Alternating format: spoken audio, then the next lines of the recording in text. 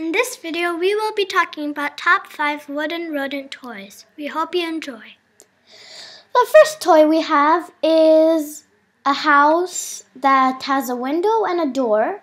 Your gerbil can pick going through the door, or if you put it on bedding, they would like to dig under the under the bedding and go up into the house.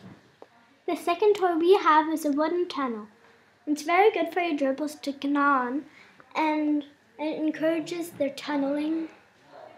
And yeah, we recommend this toy a lot. The next toy we have is a house and uh, a overhouse and And a balcony. and they could be separated but they come together. And the upper house has a door and windows and the lower house is more just a door and a place for them to sit in. And this is what we call a digging cube. The purpose of this thing is to put bedding in here or in here, doesn't matter, and your rodents are supposed to dig it out. This is compatible with small rodents, for example, mice, hamsters, gerbils, and yeah, etc. We really enjoy watching our gerbils tunnel through the bedding, and yeah, we recommend it a lot.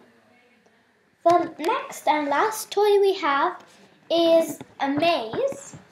And in this maze, your gerbil can be put in from here or here, and they must find their way up and out. What they do is some cubes have just holes for them to go through, and some other ones have stairs. If your gerbils really like climbing, this would be recommended a lot.